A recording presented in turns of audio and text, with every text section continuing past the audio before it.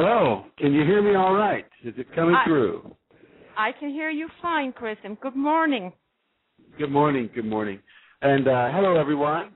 I would like to welcome you to another conversation about uh, the Kundalini experience that you may be having.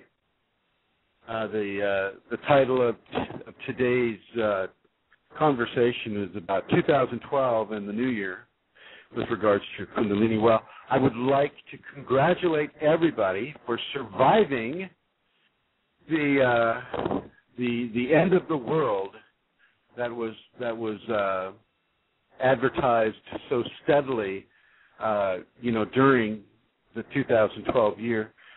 Uh, I'm getting a lot of questions now. Well, why, Chrism, why didn't that happen? What, you know, were, were all the ancient cultures wrong? Were were the the the the uh, the you know some people were going to the ET thing. Were the ETs wrong? Were the spirits wrong?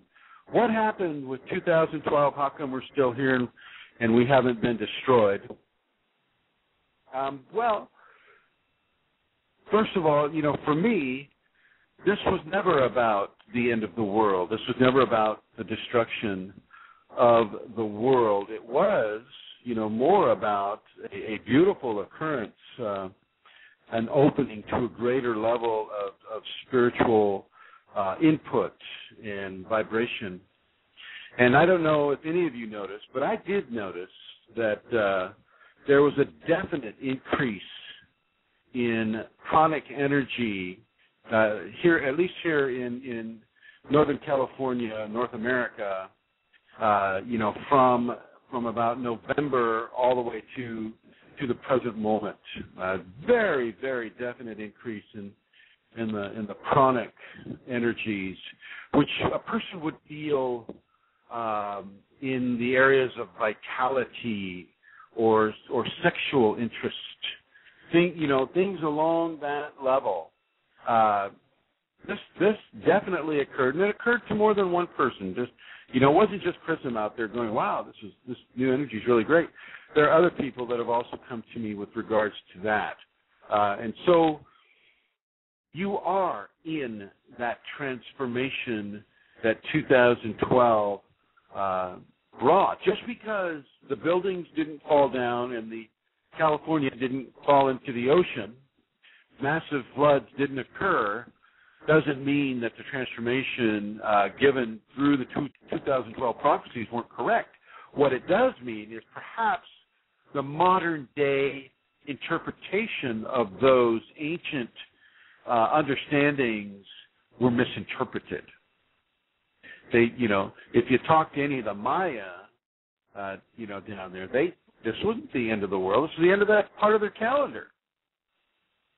So it, it gives us a, a moment to pause about how much we buy in to fear propaganda. Oh my gosh, you know, the end of the world is coming. Uh, how much we bought into that. Now, I think that it served a positive purpose to a degree. I think it gave people an opportunity to prepare themselves for, for disaster whenever disaster strikes. Uh, disaster is always a present uh, situation on this world. I mean, you know, we don't know if the magma in the earth is going to destabilize a certain region and allow earthquakes to happen, or you know, and and, and if that earthquake happens out in the ocean, well, is it going to be a, a tsunami? You know, we don't know, and and and that's part of of living here on this world in a physical body with a five five sense limited uh, uh, discernment uh, properties that we have, you know, typically expressing in our bodies. With Kundalini, you get a lot more, but most people, you know, they they don't have that, and so it was a good opportunity for people to get prepared.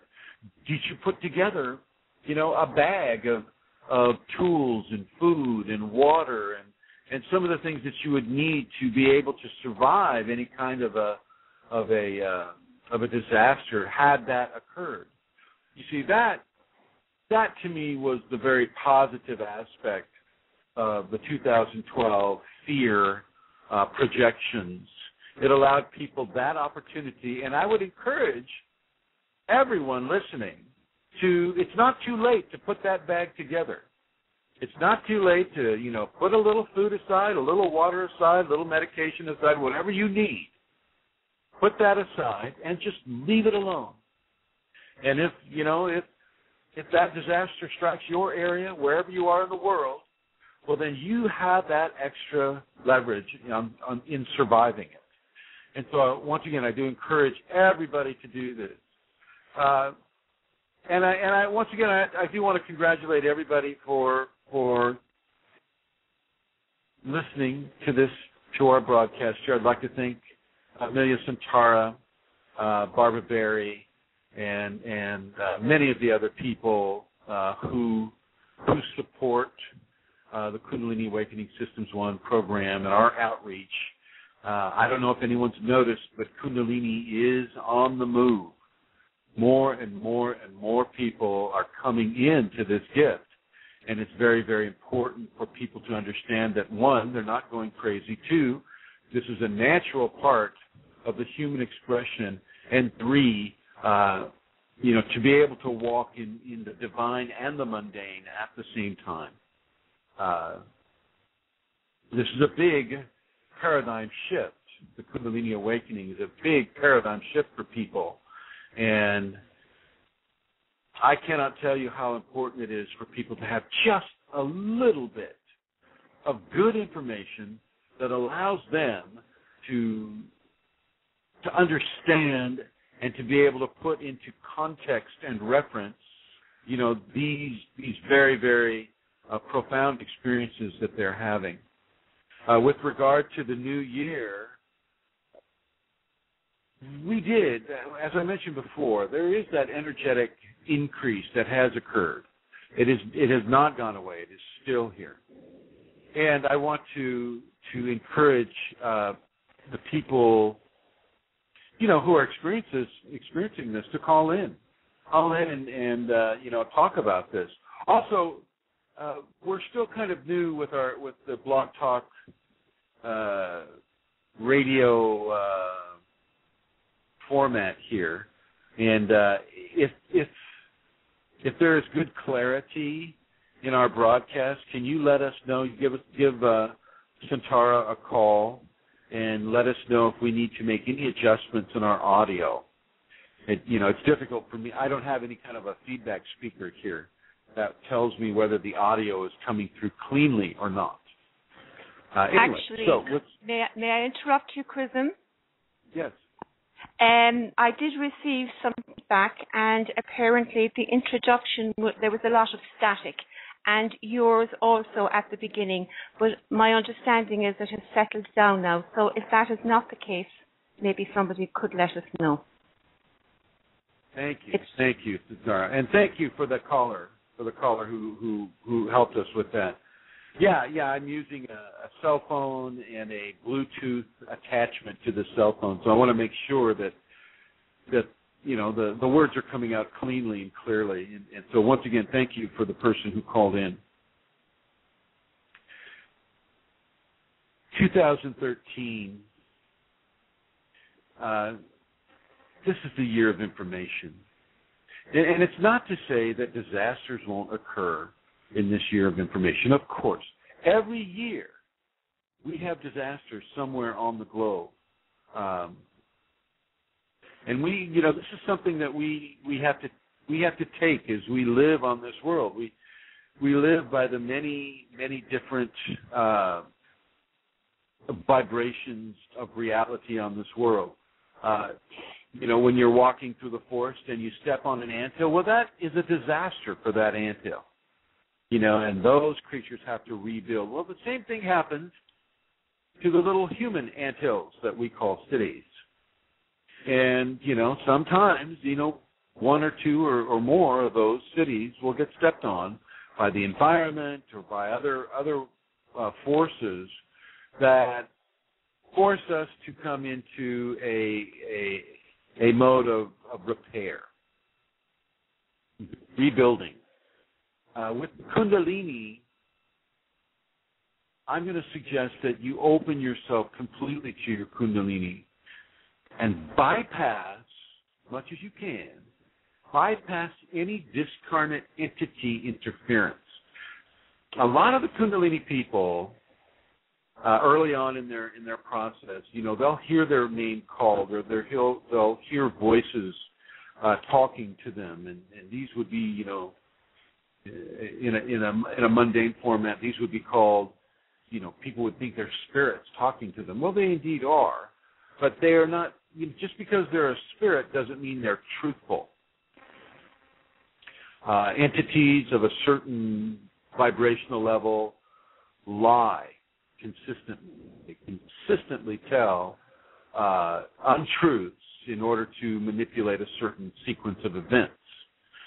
Uh, so I would encourage people who who are really inside of their kundalini right now to forget about the voice that they may be hearing unless they have definitive proof and understanding that this voice is being helpful and is not in any way self-serving.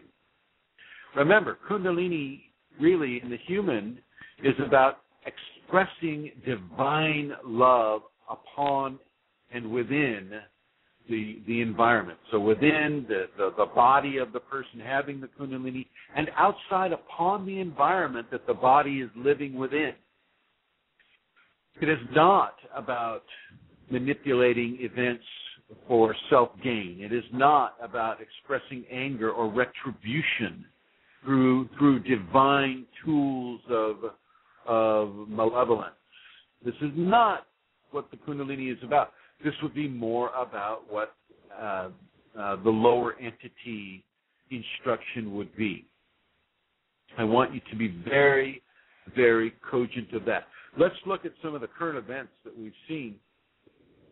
Uh, certainly in the United States, uh, the, the the the young man who who killed those children and those and the instructors and the adults there. Uh, this person was evidently taking uh, selected serotonin reuptake inhibitors. Uh, these types of medications can dissolve to a to a degree the barriers, the natural barriers that the human psyche has uh, to to keep uh, predatory entities from coming in and trying to take control. Uh, this this young man didn't have those barriers anymore. He he just like the Columbine kids and and many of the other people that that do these types of activities, they have been in many cases, not all cases, but in many cases, taken over by lower level discarnate consciousness. Okay. Uh, so I want to express uh, caution for people who are doing what the voices tell them to do. You have a responsibility to your Kundalini to discern that which is helpful, that which is of service, and that which is is reaching into the populations in a positive way, a positive equation. Uh, this is something that I'd like you to look at for the new year. Let your Kundalini reach in to your social environment and your your you, you know your your physical environment in a positive, love-based way. One of the most important ways to do this is through extreme forgiveness. Kundalini is a force that turns people into saints and angels. I never used to feel, you know, I, I wasn't brought up in a religious way at all. Uh, my mother, uh, I, I would ask her, well, Mom, why do I have to go to church on Christmas and Easter? And she'd say, so you can learn some manners. kind of gives you an idea what kind of a kid I was. Uh, so I never really, you know, I was just there, you know, basically it was a waste of time for me. But with with regards to the idea of an angel, the idea of a of a saint, these these are true divine blends. These are divine equation blendings that turn the human body into a divine expression, more so than it already is. Yes, yes, yes. You know, everything is is divine. Everything's made, of, you know, from from the the the all that is. But there are stronger emanations and there are weaker emanations, and in in regards to the Kundalini effect upon the human system, that is a very strong emanation of divinity compared to the five sense emanation that is currently uh, uh, the most the most uh, uh, popular, uh, you know, within the population. So the most, not, not that it's a real choice. I mean, you have to earn Kundalini, and so most of the people on this planet are not quite ready yet, but they're getting there. They're moving towards it. And slowly but surely, life after life, karma after karma, they are getting into the Kundalini. For those of you who are already there, don't think that your karmic responsibilities stop just because you have the Kundalini. Your karmic responsibilities in actuality increase. Okay?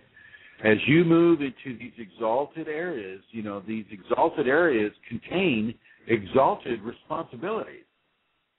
And so once again, for this for this new year, this beautiful, wonderful year, 2013, I want to encourage you to reach into your social and physical environment with this level of divine love that those of that are having Kundalini right now, they know exactly what I'm talking about. And those of you who are reaching for Kundalini, as you reach for Kundalini, if you begin to emulate the behavioral understandings and expressions of a person that has Kundalini, you begin to understand. And through that understanding, you begin to have the opening occur for you if that is what you're seeking.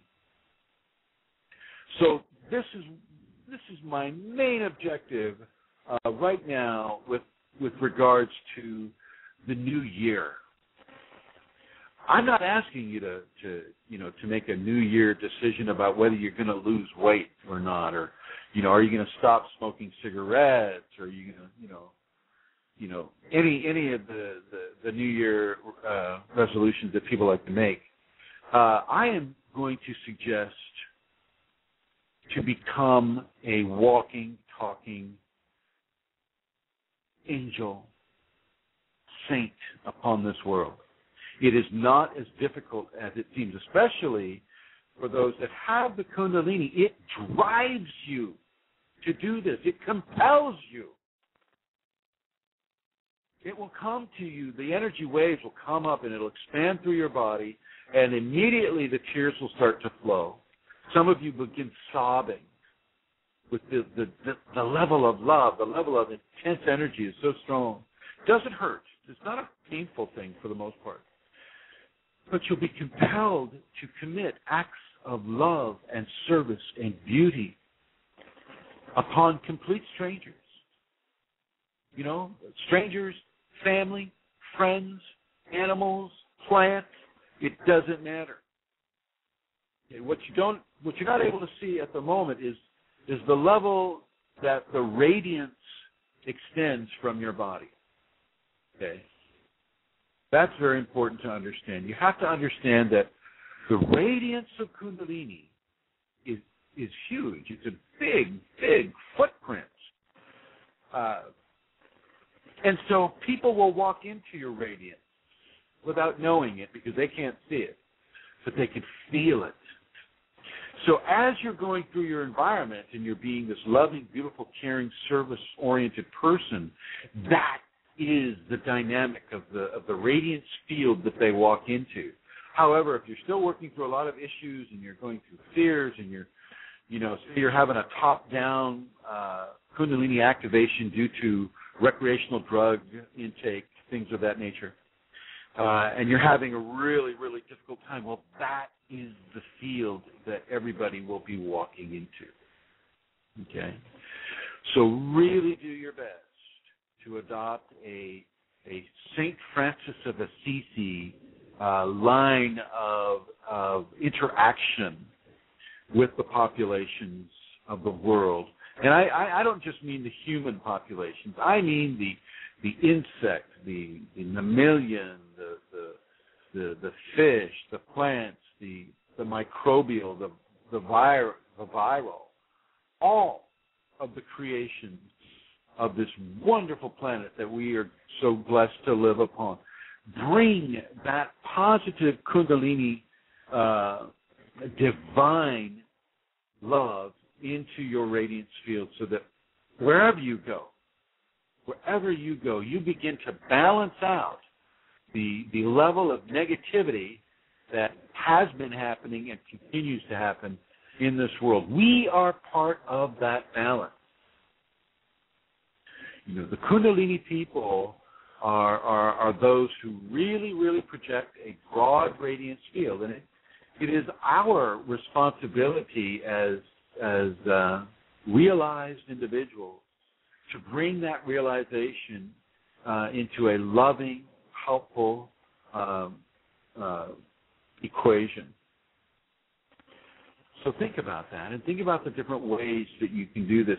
For those that are having Kundalini right now, Kundalini will often direct you in which way it wants you to to promote that kind of an agenda.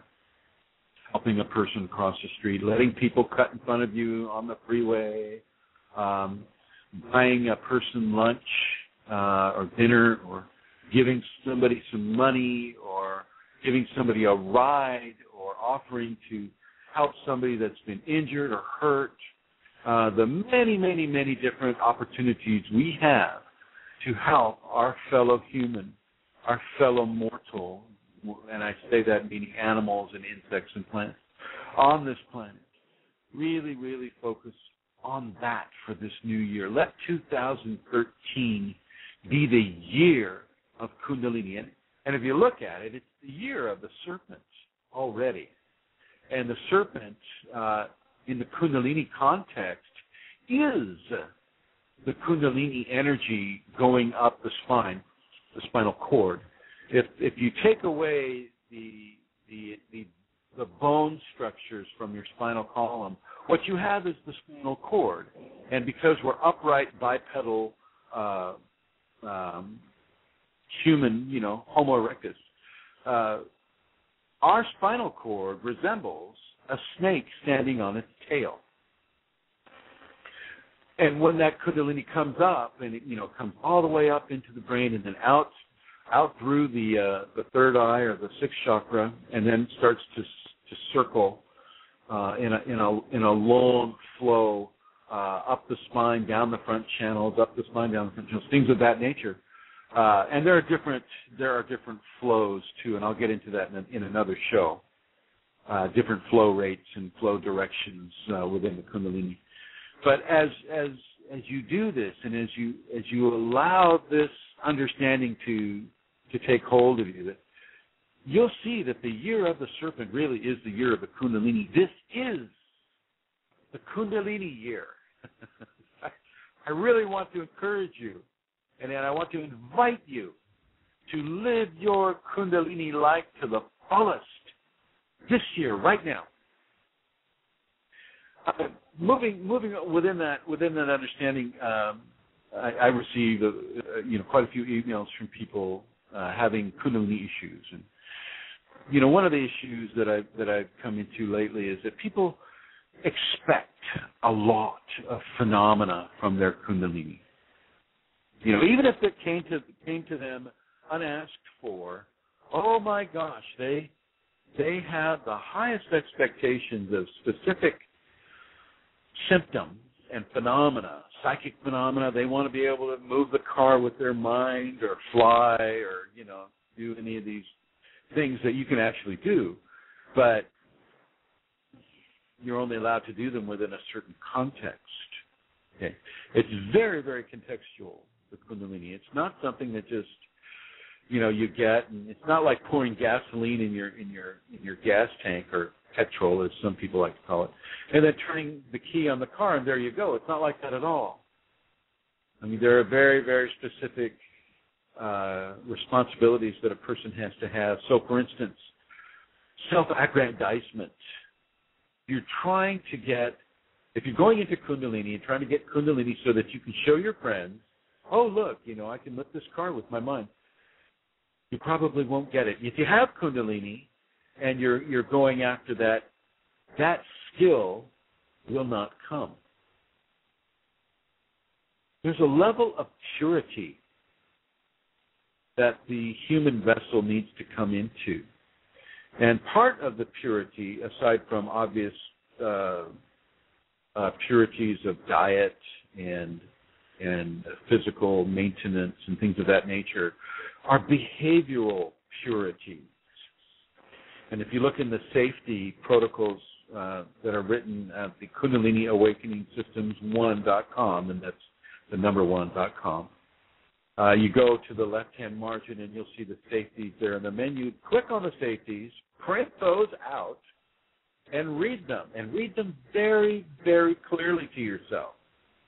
There, you know, many people tell me, "Oh yeah, I'm doing the safeties," and even other people tell me, "Oh, I've been doing the safeties all my life," and I just kind of cringe a little bit at that because obviously they're not doing the chin lock and the tongue lock and the eye lock and the finger lock and you know all the other locks and bandhas. They're not doing that, but evidently they've been doing it all their life. Um, I want you to take clear notice of the behavioral aspects of the safety protocols: forgiveness, tolerance, honesty, truth, patience, diligence, compassion. These are just as important as the five Tibetans or meditation or any of the other aspects of the safety protocols, and they they speak to what uh, what I'm uh, talking about at this point is the level of behavioral purity that we have uh, within the Kundalini.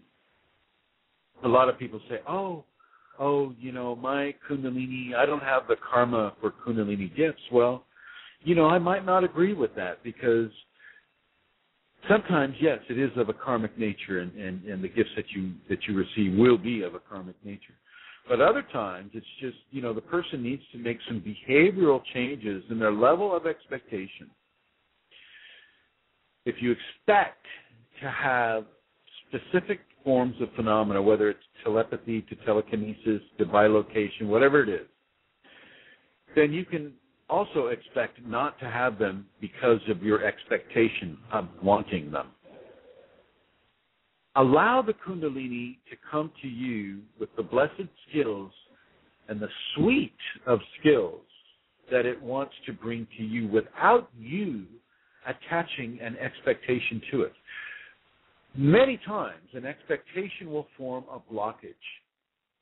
And the blockage, of course, you know, does does exactly that. It blocks uh, a certain divine expression from coming through. And so, do your very best not to to wrap yourself up into an expectation. Just let the Kundalini flow through you, transform you, change you, and kind of see where this is happening for you. You know, a lot of people will go through the different levels of experience of the Kriyas, natural experience.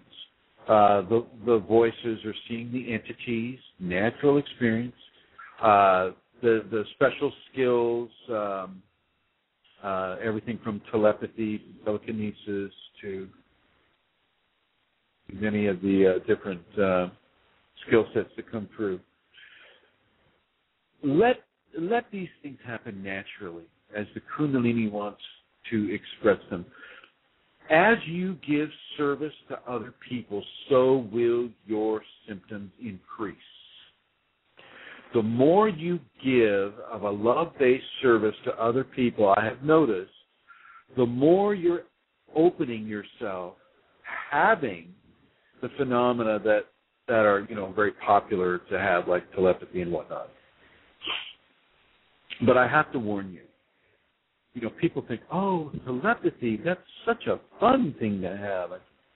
I, can read the minds of other people, you know, and, and what you really want to look at is, oh my gosh, is it any of my business to read the mind of other people? Is that an ethical thing to do? Is that not something like an invasion of privacy? Already, you know, there I have plenty of people that I work with privately that are being clued through their dream life that they're being prepared to be able to read the minds of other people. And I just, you know, I want to caution you. Every Kundalini skill has a downside to it if if if the downside of that expression is something that you need to learn from. So let's just talk about telepathy right now. The downside of telepathy is having no filtration, having no filters, which means that you'll hear everybody's thoughts all at the same time and it'll drive you crazy. Not only will you hear their thoughts, but you'll hear and feel their despair, their rage, their anger, their terror, their fear, their their self uh, invalidation, their their joy, their love, their happiness. You'll feel it all at the same time. No filtration. It's not a fun experience. It can just blow your mind until the Kundalini gives you filters that allow you, you know, instead of a broadband telepathic uh, experience, you get a narrowband telepathic experience, and, and hopefully, you know, if you're using it well, a narrowband by choice uh, telepathic experience, then it can be very, very, very difficult to have that. And not only not only will you tie into what other humans are feeling and thinking, but you'll tie into the survival realms of the insects and the animals and all of conscious life, whether it's human consciousness or not, expresses within the telepathic range. And so you get all of that. And boy, if you think that static uh, at the beginning of the show was bad, boy, you ought to try some broadband telepathy with no filters. It's mind numbing, and literally, you having a numb mind would be a gift in that scenario. So there are not, you know, it is not all peaches and cream when it comes to these uh, symptoms. Uh, but you need to understand that. You need to understand what it is you're desiring, if it is indeed that, that you're desiring uh, the special skills and phenomena of Kundalini. So I get people coming up to me and saying, "Oh, you know, this is this isn't divine. This isn't this isn't anything, you know. You know, I'm just going to stop believing in any of this. This is all, you know, baloney because I'm not getting the you know the uh, the expected results. Well, you know, it, it'll it'll continue to be that way unless, of course, it has a, a you know a special agenda within your Kundalini awakening for you to experience that, and then boom, once you start denying it, well then it'll start you know it'll start coming at you harder. So just be aware of that. And this goes for a lot of the people that are having the top-down experience. For those who are having a top-down Kundalini awakening, which means starting at the seventh crown chakra and working its way down, basically going from refinement into density. I want you to know right now that it's going to feel crazy to you. It will feel absolutely nuts. You'll feel like you're going nuts, but you're not.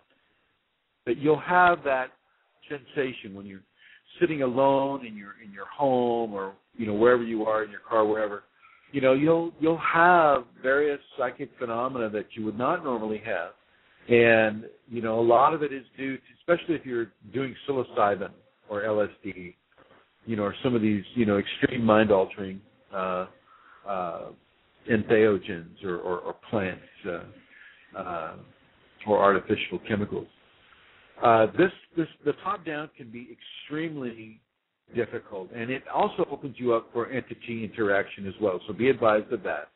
Make sure that you're you're working and living and, and operating from a love based perspective, a helpful service based scenario. This will help you tremendously, as will all of the safety protocols. But for those of you having a top down, breathe, relax. I know it's hard. I know that you're hearing and seeing and feeling things that you would never have even dreamed of experiencing, and that is what it is. This is what happens sometimes when you when you storm the gates of heaven. Sometimes this type of a response occurs. You're not crazy. You're just having an expanded uh, sensorial experience due to the Kundalini awakening within you uh, because of that recreational uh, uh, use use of those of those compound components. So know this, understand this, be okay with this. practice the safeties minus the five Tibetans because you got enough of that going on. And uh, as you work those protocols, uh, you'll be able to kind of meet in the middle as the as the uh, top of the head works down to the third eye and then to the throat. Well, you can also start working from the bottom, the first chakra, second, third, and both of the activation points will meet at the heart, and the heart activation will then begin, and that is really a good place to be. So you have extremely positive options, you top downers. You have extremely positive options, and you just need to keep it. Understand what has occurred. Number one, Kundalini's been awakened. Number one. Okay, there it is. Okay. Number two, uh, avoid any of the uh, conversations that entities might try to inflict upon you. Avoid doing anything that is hurtful, negative, or uh, retributional to another person and begin to operate and live your life through a level of strong, strong, strong forgiveness and strong, strong, strong service of love for others. Okay. Uh, you can actually do the five Tibetans. I'm going to take that back because I, I, I want you to be able to do at least the the first four uh, to meet at the heart. To meet at the heart. The five Tibetans are a form of Kundalini activation. This is what gives them all of their fantastic uh, results. Hair growth, you know, extended uh, youth, that type of thing. Uh, so this is why they're they're incorporated into the safeties. So for those of you that are having a bottom to top, the same advice goes to you. Uh, it's still you know, you'll still think you're going a little crazy if you don't know what it is that's occurring. For those of you that do know what is occurring, it doesn't make it. It does make it easier. You know what's occurring, but you know you're still having the kriyas, you're still having the severe mood swings, you're still seeing the visions, you're still seeing the lights, you're still hearing the voices, hearing the celestial music. You're still in that angel development stage, that angel or saint, use whatever symbol is is appropriate for you, development stage, and and within that context, uh, it, it can be a, a difficult learning curve. A lot of you, and I'm just going to go out here on a limb and say this, um, a lot of you will start feeling little bulges and knobs at your shoulder blade, and a lot of people have, you know, with their with their third eye vision, they can see their wings growing. Um, this is this is as fantastic as it sounds, and as you know weird as it sounds. This is a real deal. This is not something that you know I'm just pulling out of my parka.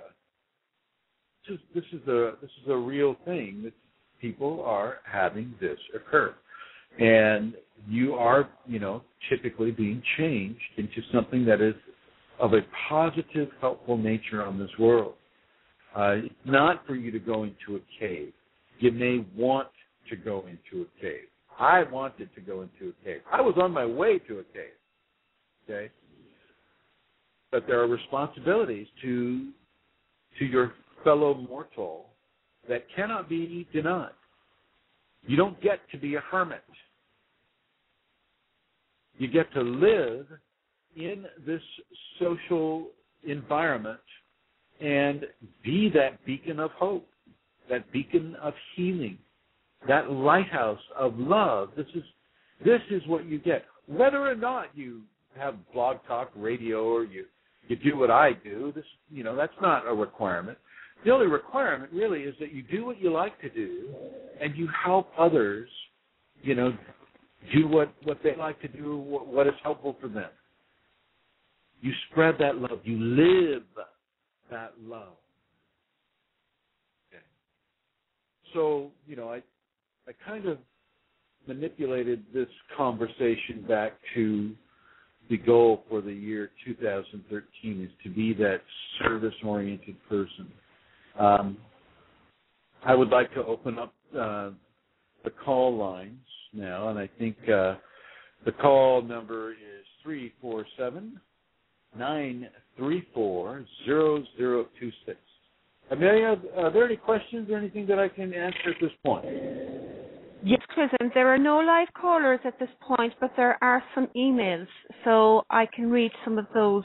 One you have answered already, I think. The question was, how does doing the five Tibetans assist with Kundalini awakening? Do you want to say more on that? Yeah, I can I can do that. And you're starting to break up again. We're gonna have to figure out a way to. to Perhaps it's Skype. I don't know, Chrism. It could be. It could be. Five Tibetans. The most important of the Tibetans from a Kundalini context is the first Tibetan. The first Tibetan is done with your fingers together but stretched out perpendicular to your body, which means stretched out so that your your your your arms are are are pointing to whatever direction, but they're up, not over your head, just kind of shoulder length. And then you spin clockwise. You spin to the right slowly at first. For those of you that have never done the five Tibetans, I counsel people only doing six spins because you're gonna get dizzy. You're supposed to get dizzy. Dizzy is not a bad thing in this context. Dizzy is a very good thing. And uh, uh, for those of you uh, who who may you know English isn't the first language, dizzy is that that uh, feeling that you get when you you know after you've spun around as a child. You know what that feels like. So whatever that word is in in your language, you know, that's what I'm referring to. I want you to feel dizzy. Dizzy is what you're going to feel is because that little micro amount of kundalini has been released at the base of your spine. Then you do the second Tibetan, you know, the laying down on your back and and lifting your legs uh, up to your chest or your knees up to your chest. Uh, this pulls the kundalini from the first chakra to the second chakra, to the Dantian chakra. Okay? And then you do the third Tibetan, and the third Tibetan pulls the energy from the first to the second to the third, and then the fourth Tibetan, you know, goes from the first, second, third to the fourth, and so on and so forth. And you stop at the throat chakra. That's where that's the last chakra that gets that kind of a treatment. The other two chakras are being are, are way too sensitive for that type of a of a of an energetic pull to be helpful. So that's that's how the five Tibetans help Kundalini. It actually releases a very small amount, small enough so that you know some of its great gifts can be given the the youthfulness and things of that nature. And a lot of people say to me, "Well, well, Chrism, you don't look that young.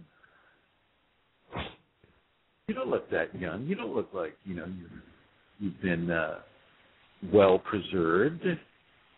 And I say, "Well, you know, I've got a beard, uh, but yeah, I, it's not ever something that I've wanted to be. I've, you know, when even as a as a child, I saw myself as an older person with a beard. So that has been my model to follow, and the Kundalini is just basically following, helping me follow that model.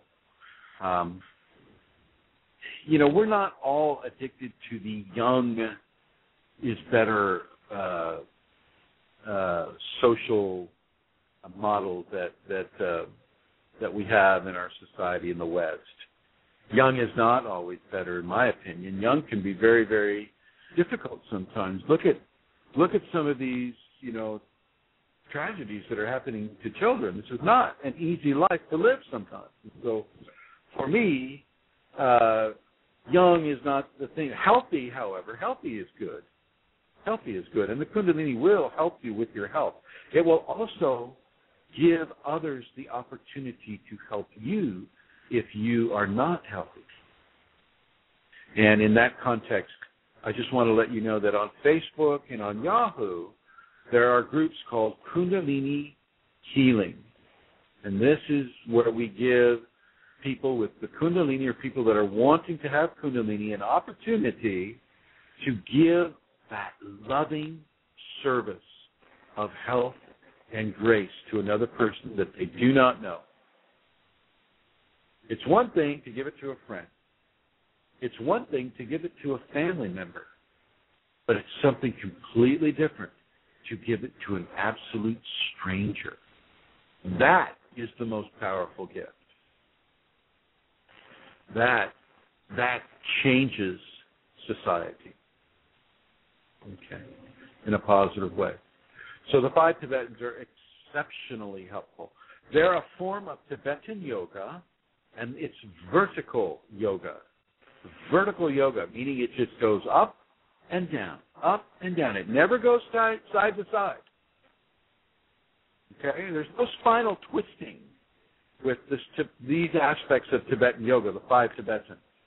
It's up and down, which is exactly what the Kundalini wants to do. It just wants to go up and down. That's one of the main cycles, one of the main flows that it does. It goes up and it goes down. It goes up and goes down. You go up and you have the activation, and then you have the apana, which comes down, which is the release, and it's so it's a it's a it's a self feeding process that never stops, never goes away. Your phenomena may change. Your phenomena may you may feel like your phenomena disappeared and that may be the case, but the kundalini hasn't gone away. You know, you're just in what I call a plateau experience. If your phenomena disappears, you know, all of a sudden, oh, I can't read these minds, or oh, I can't, you know, do this or that. Um, it doesn't mean that anything's wrong. It just means that the amount of information and transformation that you have received at this point needs to be processed without phenomena without that expectation of doing this, this, or that. Kundalini is a very, very, very intelligent force, and it looks at you and it looks at how you are, how you are doing with this energy, with itself within you. And based upon how you are doing, and it doesn't mean whether you're doing good or bad, I mean, that has something to do with it, but it's more about how your physical, mental, emotional, psychological, and spiritual body are processing this this intense form of energy. Kundalini is is is similar to going from a 12 volt car battery to a 12 million volt battery. I mean, it's a huge, huge, huge upgrade, and it's a very delicate process and the Kundalini knows this process better than your ego mind knows the process. And so once again, we surrender our control of the Kundalini process to the Kundalini or to a teacher that you have that has the Kundalini. Sometimes a, a, an embodiment, a physical embodiment, as in a teacher with Kundalini, is the is the way to go for a person there is a place for that in our in our society, in the awakening aspects of our society. I often uh, speak of uh, dead teachers versus living teachers, and living teachers are extremely important. Somebody who's walking and talking and breathing the same air that you're breathing right now, having Kundalini. Right now, maybe he's had Kundalini a lot longer in a, in a in a more intensive way and, and you know, this is not the first lifetime having the Kundalini, et cetera, et cetera. You know, can give you some really solid, helpful information that will allow you to excel and surrender and forgive and do all the wonderful love-based uh, behavioral modifications that the Kundalini provides for you to do. So I do, I do have a, you know, I am a teacher, and so of course, you know, I feel that uh, a living teacher is a very, very, very important part of the Kundalini uh, understanding of life as it is lived on this world, and, and uh, dead teachers also have their have their place. Uh, you know, a dead teacher isn't going to, you know, they they can come to you in a spiritual form, uh, and they're just not going to be able to or, or choose to give you as much uh, physical based instruction as a physical based teacher would do. So, uh, Shantara, can you give me the next question? I can, Chrism, indeed, and um, it's from Trisha, and it's connected with Kundalini healing. She says thank you for your shows. She enjoys the two of them very much, and she's wondering what the difference between Kundalini healing and Reiki healing is. Okay, no, it's very good. Hello, Trisha. Uh, thank you for asking the question. It's a very good question. Uh, uh, Dr. Usui, uh, back in the 20s, uh, was the person, the first person uh, within the Reiki context that developed uh, the healing formats that that he called Reiki, which means life force in, in Japanese. Uh, Dr. Usui was this wonderful uh, medical professional uh, who would do he, his his practice was located in a slum, so people paid him off with eggs or chickens or you know very basic uh, uh, uh, survival uh, rewards for the medical care that he would give to them.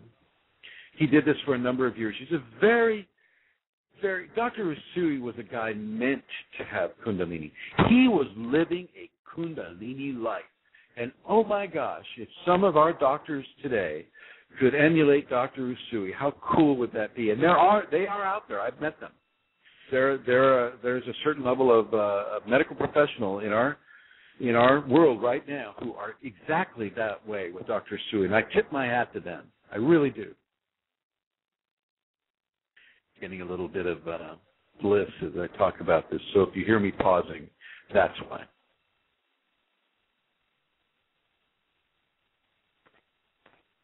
Oh, it's so strong. Bliss when it comes, you just you have to stop and let it let it take its course. Um, Dr. Usui, uh, you know, he he worked and he worked and he worked and he he always meditated and gave himself time for that introspection, the inner journey, and uh, his life uh, continued. And, and he decided he needed to climb uh, a mountain that was nearby. I forget the name of the mountain, but it's not important. He climbed the mountain and he decided that he was going to stay meditating in this cave, looking out the mouth of the cave until he received some sort of divine instruction. He had reached a point where he was so hungry for divine instruction that he was going to put it all on the line. And he did. And he went up and uh, he he meditated and it took him he was up there for for two weeks uh and he made the point that at that point he decided I'm just not going to come down. If I don't receive it, then I'm just going to die here. I'm I'm going to die. So you you, you got to understand that this man is he's putting it all on the line, people.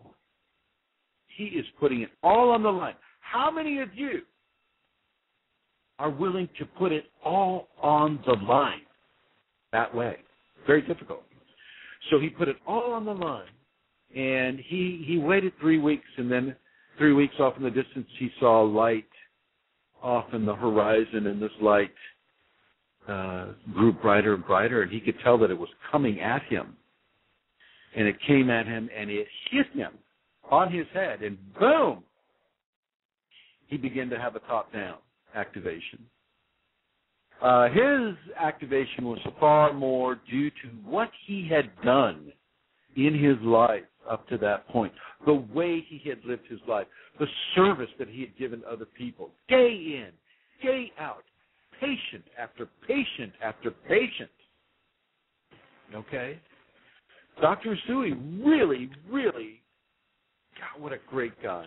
I mean, I can't speak highly enough of that man.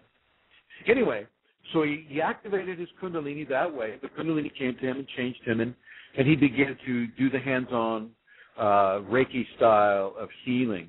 Uh, after his death,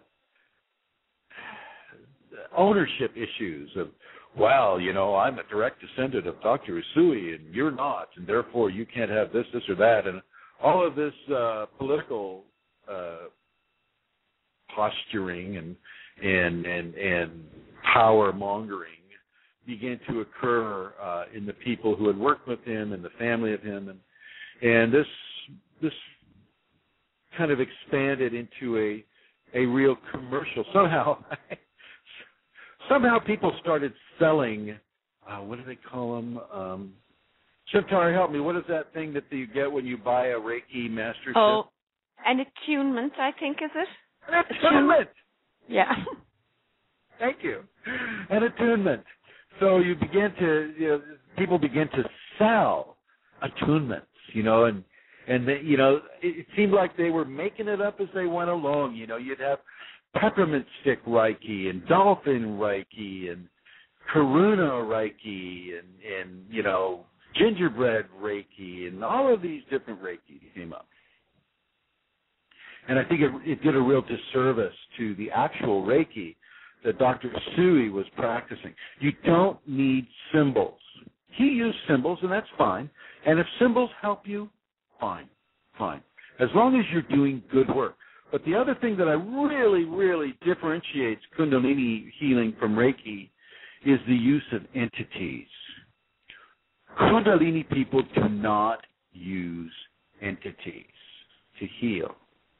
Certainly not sticking their hands up in the air and going, Healing masters of the universe, plug into my hands and let me give the healing to this person. Because of what we know about the lack of ethics with entities, in many, if not most cases, what is being given is an entity infestation to a person who is already sick. Kundalini people, Kundalini healing is not that way. Kundalini healing, you basically stand near the person, and the Kundalini itself within you, it'll it'll actually you can feel it pouring out of your chest, pouring out of your hand chakras into that person, and the Kundalini knows what that person needs to receive. It knows that person's karma. Okay. The Reiki person does not. Now I can't say this about all Reiki. You know, a lot of the, you know, not all Reiki is you know sticking your hands up in the air and saying whatever entity come on in. Um, a lot of uh, of Reiki uh, is is is based on the based, I should say, based on the Dr. Usui model, uh, but without you know, this is very important, it's without the refinement that Dr. Usui gave himself through his selfless service in life. So, Trisha, if you can do that selfless service, if you can live that kind of a life where you you help, help, help, help, help, and even help when it's hard to help, you are activating areas in your body that will open to the Kundalini flow within you. By practicing Reiki, you can, if you do it within that within that model, you can activate the Kundalini, and the Kundalini will flow through you just as hard as it flows through Yogananda or or or or uh, you know any of the Indian mystical saints or any of the uh, any any person that has uh, awakened Kundalini. Trisha, I really, really encourage you to. Reiki is a good thing. It just needs to be practiced in a specific way that doesn't cause more problems, you know, than than than the person had coming into the treatment. Don't stick your hands up in the air and say entities plug in. Please don't do that. I don't care. I don't care what guidance people think they have. Okay, healing master this or healing master that or Saint Germain or Saint whoever. No, no, no. The only true divine interaction is with the Kundalini within you. The Kundalini within you is the source that is true. You see, now I'm starting to get poetic on you. I'm sorry. That's the bliss. but you can, Trisha, you can use that as a mantra. The Kundalini in you is the source that is true. Okay, you get to know that Kundalini, and and your the healings that you want to give will be powerful, very very powerful. Shantara, Yes. I would like to speak to Trisha a little bit about uh, what you've been doing within a Kundalini healing modality. Okay. Well, I have been, um, well, recently Kundalini invited me or told me to become a massage therapist, and I did training for that. And the reason was to be a therapist, and I I give Kundalini massage, and what I do is before I go and um, give the massage, I go into devotion. I go into a place with my Kundalini, and my Kundalini moves and does the healing, does the massage. It's uh, Shantara, yes. can you try backing off of the mic a little bit?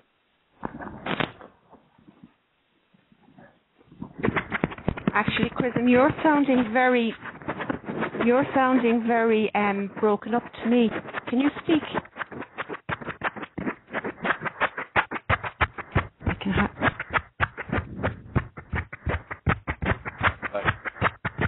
Can't hear you.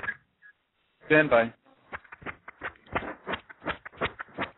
I'm going to put my mic on hold for a minute, okay? Hello? Hang on. Can you hear me? I can hear you now. Okay. Yeah. Can can you hear me? Yeah, you're very clear. So go right ahead.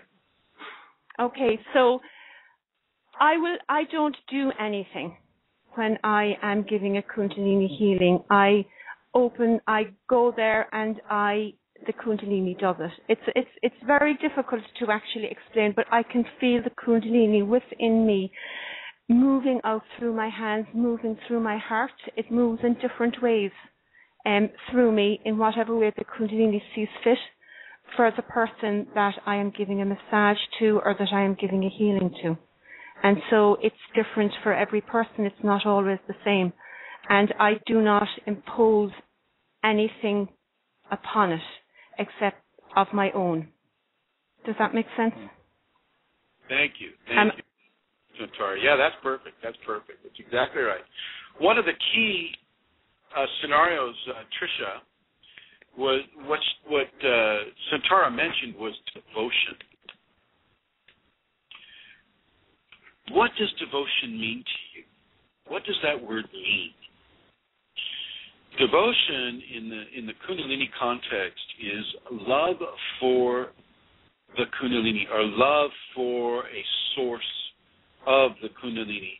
Love, extreme love, love that allows you to surrender yourself completely into the arms of that Kundalini source, whether it's a teacher or whether it's uh, a representative of the Kundalini for you, whatever that may be. Uh, devotion makes a huge difference in the level of love and the power of a healing that is given within the Kundalini context. Uh, so, with the Kundalini healing, the more love you have of the Kundalini and surrender that you have to the Kundalini, the greater the flow rate will come out of your chest, your eyes, your throat, your hands, and your fingertips. These are all vectors of Kundalini healing expressions. Okay. With Reiki, I know that you you know you know you're you're floating your hands over the person and you're looking for heat spots and things like that, and I understand that. I'm you know I have no problem with that, but with Kundalini, it is it is it is more than just your hands. It is your entire body. It's your soul. It's your spirit. It's your it's everything that constitutes the person that you are, plus the divine aspect. Okay, the divine aspect that comes through and is fifty, if not, it, it's sometimes it's more than fifty percent of the equation. And there is nothing that the divine cannot heal on this planet. Nothing. Having created the planet, it knows. It knows what needs to be done. Okay, but those are some of the main differences between uh, Reiki and Kundalini. And I just wanted to get into the history of Reiki because Reiki started out as Kundalini. It is Kundalini, but not now. It's been commercialized, almost, you know, definitely to its own detriment. but not by everyone. Not by everyone. And I'm certainly not suggesting this, you know, about you, Trisha, or anybody that's practicing Reiki. I'm just saying that, you know, buying and selling attunements and creating Reiki this, Reiki that uh, may have taken away some of the important principles of refinement that are necessary for Kundalini to flow uh, within that healing uh, uh construct that Dr. Usui created. Thank you, Trisha, and I hope I hope that answered your question to some degree. Are there other questions, Amelia? Yes, there are, Chrism. Um, let me see. Um, a person asks two questions. Um, at what stage in one's life is a Kundalini awakening likely to happen? And and then how come this person knows no well-known politician that is Kundalini active? I suppose how come there's no well-known politician that is Kundalini active or appears to be? Okay, all right. I think Abraham Lincoln had some Kundalini going with him. Okay, but that's you know that's almost impossible to prove at this point. Uh, the typical age for Kundalini, one of the most observable ages that I've been exposed to, is the 30s. When you're 30, when you're a trinity, uh, when you're 21, when you're 18, when you're you know 27, uh, 26, but mostly 30. In the 30s somewhere. Okay, that's that's been the age that I've seen. But I also there is a hidden mathematics to Kundalini. That's the mathematics of of the Trinity of threes, of what adds up to three. Uh, you know, or or, or uh, a derivation of three, like nine or six. Uh, those are very important points when it comes to Kundalini. And uh, there's a whole mathematical science of mystical mathematics that is, is dedicated to this subject, so I can't go into it too much. But uh, with regards to the ages of activation, I'll say that 30 is the typical age. Now, with regards to politicians, yeah, yeah, politicians.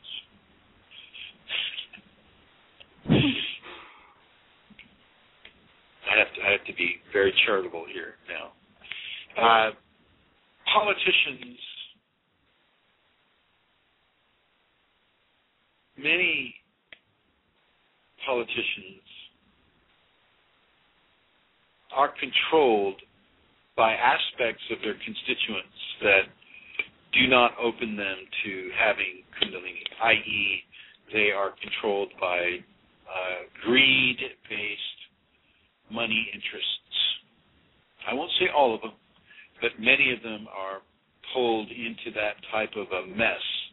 And, you know, they begin to feel more loyal to those that are giving them money than to those who elected them to do the job for the for the population and uh, this can be seen in many, many, many, uh, if not most, of uh, the politicians here in the United States, um, including, yes, you know, Barack Obama and, and all of the other politicians uh, from him on down. Uh, this is subject to, this is starting to change. Um, a lot of politicians depend upon how the media treats them for reelection. And so if they want to keep their job, then they have to please certain, you know, hurtful aspects of their constituency. And so, you know, a an, an enlightened uh, voice in the Senate or the or the or the House of Representatives is not impossible. It's just not probable. But but there are certain forces that are guiding these politicians. It's interesting. You know, the the guidances mostly will occur when the politicians are asleep. And their psyches will be visited by divine uh, consciousness. And divine consciousness will counsel them by giving them a, uh, you know, something that compels them to make a certain decision this way or that. you must understand that life on this world is not meant to be easy for everyone. It is people come here with different karma. Different karma demands different types of of uh, living environments and living experiences. And so, if you know, if, if if a person is coming into this question with, well, how come, how come everybody, you know, doesn't get to have a a flat screen TV, a, a PT Cruiser, and uh, you know, a, a nice place to live. Well, it's that that is not the way it's set up here in this world. Not everybody gets to be Bill Gates. Not everybody gets to be the the poorest uh, person in the Sudan. Okay, but we have uh, levels of interaction that we go through that allow us to burn enough karma so that we can perhaps become those things. We're not limited in what we become. The only limitation that we're brought here with is one, the limitations we gave to ourselves through the karmic experience. And so from that karmic experience, we are unlimited in how how much karma we can burn. Typically, you know, the Chinese curse is may you have your karma, may you meet your karma in one life, you know, and so that means it's going to be a very difficult life. Well, Kundalini does that to you in many, many ways. Kundalini forces you to balance previous lifetimes of karma all in one life, which is why you you see a lot of uh, Kundalini people having very, very difficult childhoods. Childhood is often where a lot of your karma gets balanced, a lot of it. Uh, so, with regards to the politicians, yeah, not yet, my friend, not yet. But I see a time when a person like you, or a person like me, or a person like Shantara, or a person like Yogananda, or a person like, you know, Ramakrishna, will seek political office in order to initiate some enlightened change upon this world when that time is right. Obviously, it's not quite right yet. Another question, Shantara? Yes, there's another one. You answered half of it, I think, Wisdom. It just said, can you say more about what you mean by karma in relation to Kundalini? So, oh, I think. Yeah, yeah. Believe me. Karma, karma. Karma is a huge subject with Kundalini.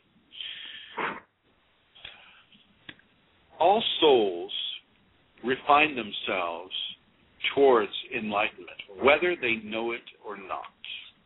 All souls are in a constant form of refinement towards the divine expression.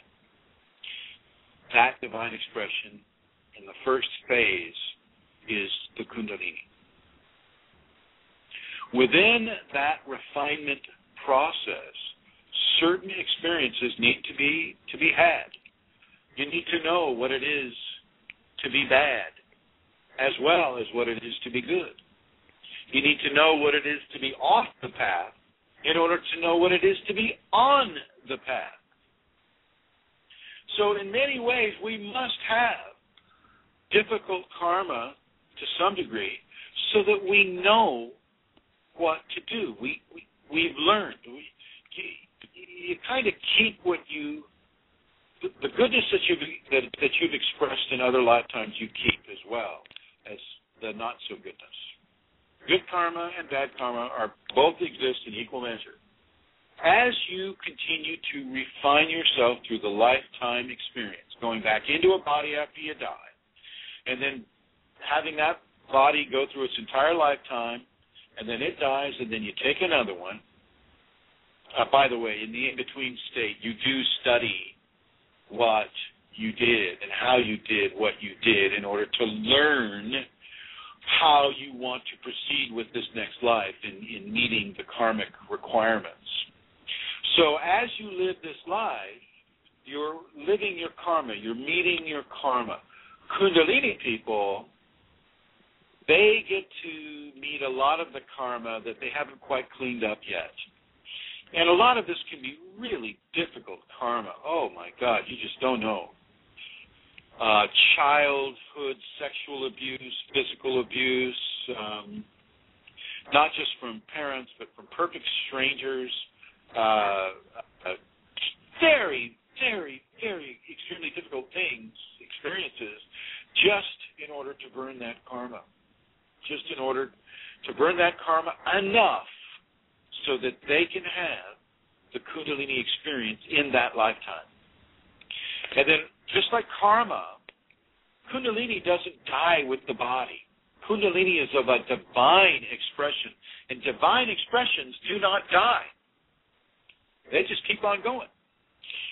So the next life you have after having a Kundalini life, you'll have Kundalini automatically in that other life, unless unless there are karmic derivations that say, okay, okay, uh, you know, uh, Chrism is going to have Kundalini in this life, then he'll skip this next life with no Kundalini, then the next life he'll have Kundalini. Whatever, whatever the personal combination it is for that person to meet their karmic requirements, uh, the Kundalini comes with you when you die. It goes with you. You know, they say, oh, you can't take it with you. Well, you, what really happens with Kundalini is it takes you with it.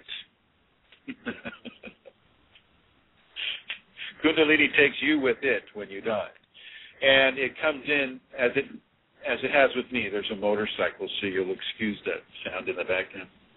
Uh, the Kundalini uh, and its karmic requirement is fairly strong.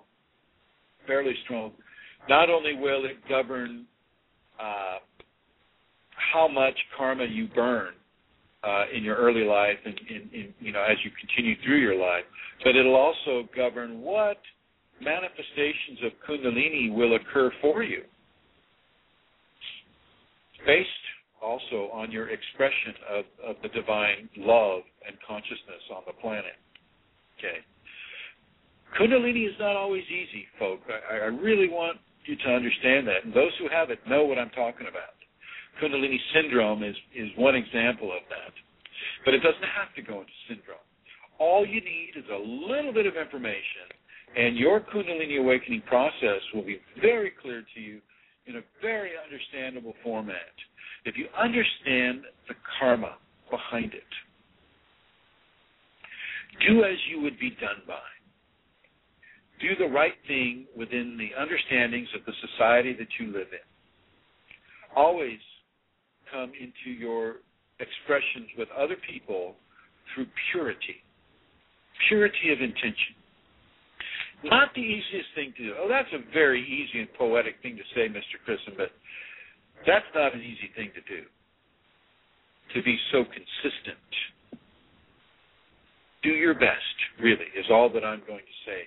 Do the best that you can do within uh, within the life and the and the and the experience of life that you're having right now. Do the very best that you can do and self-correct.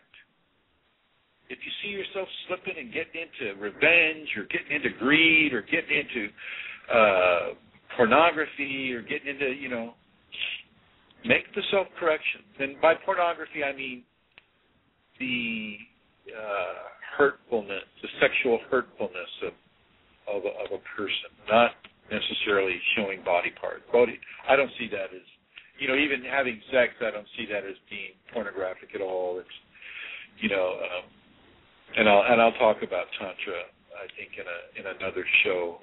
Um, I'm a I'm a very uh, I'm I'm a I'm a supporter of tantra. I think tantra is really one of the most blessed forms of seeking kundalini that you can that you can experience, and I recommend tantra, and I, and I mean, I mean, it doesn't have to be full penetrative tantra, but but I recommend all forms of tantra, including penetrative tantra as well. And I know a lot of people say, "Oh, you don't have to penetrate." Blah, blah, blah. Well, you know, you know, people have different different strokes for different folks. I guess is how that works. Um, so yeah, uh, I hope that answered that question about karma. Do we have other questions, Amelia? Yes, um, Joe wishes you a very happy New Year, Chrism, and wonders um, what books would you recommend to a person who is curious and wants to find out more about Kundalini? Well, at the risk of of uh, of being, uh, I would recommend the, the website Kundalini Awakening One. That's what I was going to say. I mean, I can only speak of that source because it's reflective of, of what the Kundalini has given me to say about the, you know about the the awakening process. Um, for a scientific viewpoint, you can check out Bonnie Greenwell's book. I forget what the title is, but her name's Greenwell, Bonnie Greenwell, PhD. Uh, Gopi Krishna's book is a is a is a is a horror story about a man that that uh, that had the Kundalini come to him in 1934, and how you know he, he didn't have a teacher. Like kind of he kind of had the same scenario I had, uh, and it does make it a difficult scenario if you don't have a teacher, if you don't have information. And Gopi Krishna, you know, he basically resisted Kundalini as much as he could, and suffered terribly because of that resistance, as did I. So really, everybody, everybody who's listening here, you surrender to Kundalini. Kundalini controls you. You do not control Kundalini. Kundalini does not surrender to your ego. Okay. Your ego and every other aspect of yourself surrenders to the Kundalini, gives the Kundalini control over your body and your life and your mind and your feelings. It's already in control of your spirit. Okay, and it's a good thing. It's a, it's a divine, blessed thing. So don't think that you're, you know, uh, you know, exposing yourself to something bad. You're not. Um, yeah, books. Um, see other books. Um, a lot of people like the biology of Kundalini. Um, Jana Dixon's great. She's written, I think, a really good book with that. Uh, but you know, she's got a lot of her own flavoring. You know, there's a lot of uh, uh, assumptions made in that book. You know, a lot of uh, um, absolutism. Uh, I find that Kundalini is different for each person. I cannot say that my Kundalini is, is the same as Shantara's Kundalini is the same as anybody else's Kundalini. I can't say that because we all came into this life with different karma. Therefore, the Kundalini expression within us is going to be different. It's going to be unique. Yes, there will be very many similarities. There will be similarities, and, and I think Jana is speaking to a lot of the similarities. But uh, we are unique in our expression of Kundalini.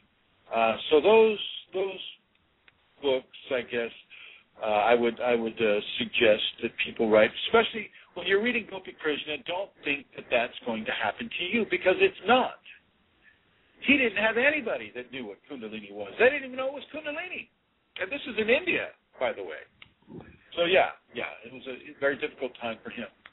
At this point, I would like to take the time to to thank some some folk. I'd like to to thank Vaibhav and his wife uh, for their special support of KAS1 program and myself in particular. I'd like to thank Amelia Shantara. I would like to thank uh, uh, uh Rosemary, and I want, I'm not going to use everybody's last name because you know I think people have privacy issues around that. I'd like to thank uh, Chrism with a K in England. Thank you. I would like to thank uh, uh, uh, gosh, I have I have all these letters in the car. I'd like to thank everybody who sent me a Christmas card and and gave me well wishes uh, for for Christmas and New Year. It's very much appreciated. I, I read all of them, and I and uh, I'm very grateful to all of you. I'd like to thank uh, uh, Magdalene, Magdalene for for her special help and uh, and uh, friendship, and uh, really, really uh, the people who who allowed me to give them Shakti pots. for the 2012 winter solstice. Uh, I'd like to, to thank all of you. I'd like to thank all of the friends on Facebook, especially in the groups on Facebook, which is Kundalini Awakening apostrophe, and then Kundalini Awakening Systems 1, uh, Kundalini Ashram, Chrism's private students, and uh, the, the, the Chrism uh, Shaktipat 2012 group. I'd like to thank uh, uh, the uh, Spiritual Lounge group and the owners of that group. I'd like to thank Eileen Laurel uh, for her help with this and Barbara Perry, and um, and of course Lasha for always being there. Um, I would like to thank uh, uh, Shantara's husband for his support of her process, which which helps all of us. Um, yeah, yeah. Thank you, thank you, everyone, uh, for making this show possible and and allowing me to continue to do what it is that I do uh, with regards to the Kundalini. I'll be doing this weekly uh, as, as much as possible. I'll be doing it weekly. And I encourage you uh, who are visiting us in the archives to please uh, uh, go ahead and email a question to K F I R E F O R A L L at yahoo.com, and I will do my best to answer you. Um, we'll get better with this uh, blog talk radio scenario. Look, um, we'll try to find a, a, a phone or a, or a type of uh, communication device that allows us to to come in clear. So thank you for your patience with that. Uh, Shantara. Yes, Chrism. Thank you. You're very welcome, and thank you. I enjoyed listening to everything that you taught today. It was wonderful. And thank you to everybody for listening, and apologies if the sound wasn't great today. As Chrism said, we will try and improve as best we can. So goodbye to everybody, and thank you, Chrism. Yes, yes. Uh, once again, I want to echo that. We'll get better with the with the blog talk, but in the meantime, really, really go into your Kundalini. Let your Kundalini go into you. Surrender to your Kundalini and allow your enlightenment to begin. Thank you.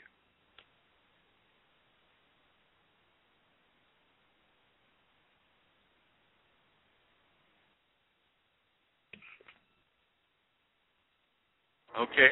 Uh, uh, Shantara? Hello? Hello? Hello? Anybody?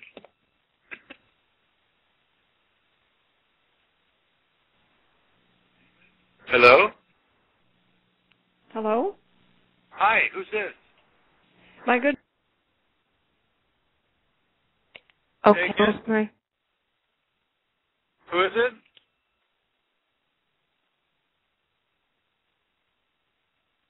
Hello, who is this?